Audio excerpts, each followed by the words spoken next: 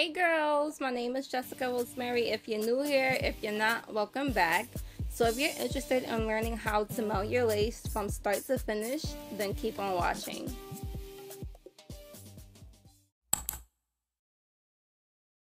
Today's video is brought to you by Luvme Hair. I went ahead and got the body wave in 20 inches and also in 150 density. Prepping and plucking. So this wig is pre-plucked, but I still went ahead and plucked to my liking. I recommend beforehand to decide if you want a middle or a center parting, just so you do not overpluck in that area. Once you pick the area that you want to part, all you have to do is just define that parting with your tweezer. And be careful not to use a fast hand because you might think that you know it's looking good and then once you're all done plucking and you like finish you're just like oh my god you know what did i do? Because you know it's overplucked i decided to not fast forward this and just use this in real time so you guys can see how slow i'm going.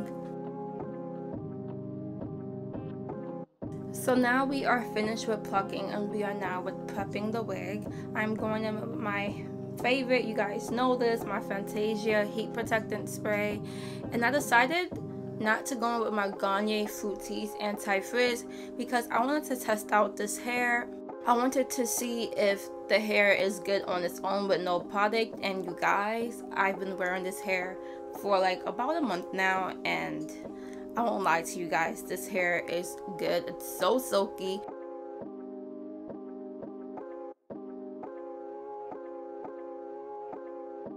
I'm going in with the popular method, which is the chase method.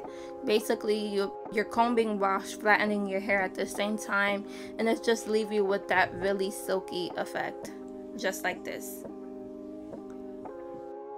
There are really two options in melting your lace using lace tint or using this product. But if it was up to me I would recommend using lace tint only because makeup sometimes it can give you that ashy flashback. Makeup has a whole bunch of oils and stuff so your best bet is using lace tint what also helps you achieve a flat install is basically just pushing all your baby hairs back before you lay your cap. I typically use Got2b Glue Cream, the gel, but I did not have that with me at the time, so I ended up using the spray and it's just as good as the gel.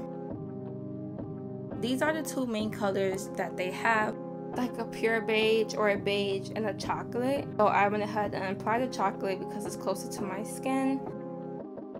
I'm spraying the Got2b glue spray all over my baby hairs, all over the front of my hairline, around my ears. Do not forget to spray a good amount, especially around your ears because that's like the area I like to lift.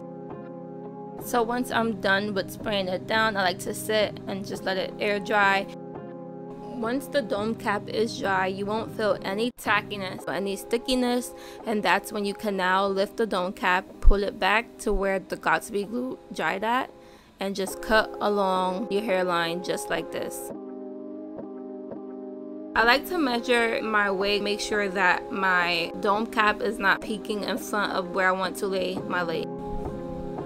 So at this point, you want to get anything that can differentiate from your regular skin tone and just use it to help you pinpoint where you do not want your lace to pass. So here you see me applying dots of concealer on each corner of my head.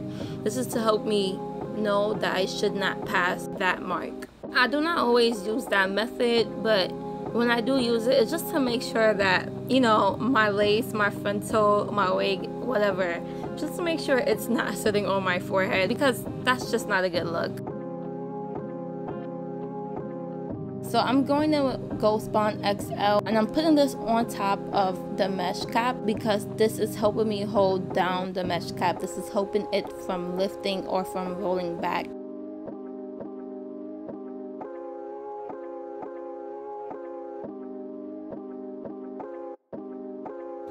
now we are here about to glue down the lace and I'm just combing all my hair back pulling all the hairs forward because I want to avoid it just being on my face. I want to avoid it getting stuck on the glue.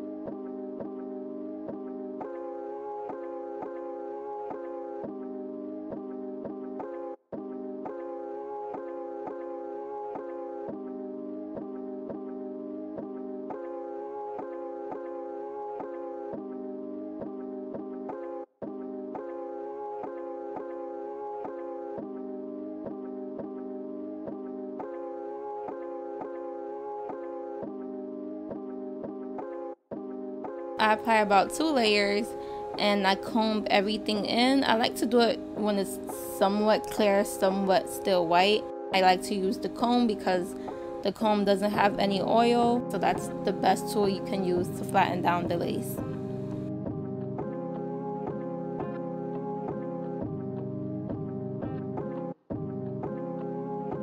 This is optional. I recently I started cutting like the ends to my wigs because I noticed that it just makes the wig look a bit more healthy just cutting off those straggly ends. I recommend that you try this. Once you start though, you can't stop.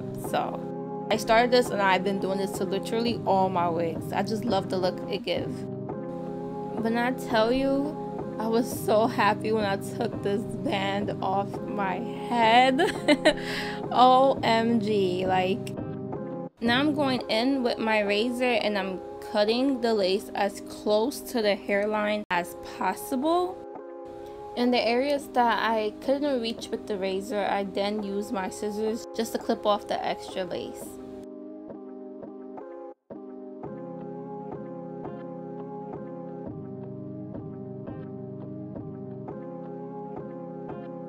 To seal all the work I just did, I go in with the Ebin Lace Spray and it just makes everything melt into your skin. I haven't tried the other two colors, but I've been using the red since and it's been doing wonders for me.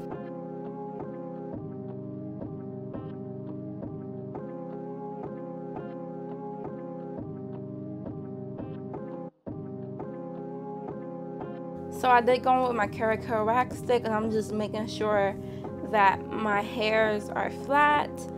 So that's what you see me doing here.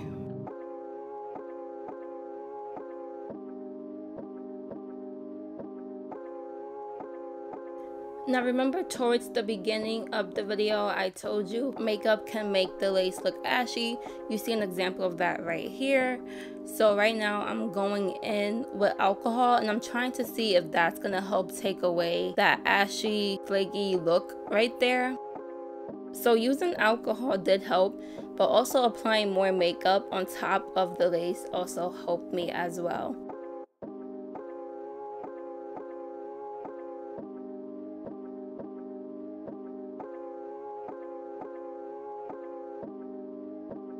Every time I attempt to do my baby hairs on camera, I just never fall through with it. So it took me like an additional 15 minutes to do my baby hairs, which I did off camera and it came out like this.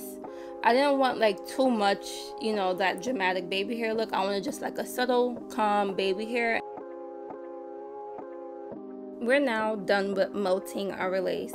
So now I was just trying to debate if I wanted straight or if I wanted to curl my hair um, and I decided to do waves. I wanted that little layered effect. I didn't do too much with the layering because I just wanted something calm.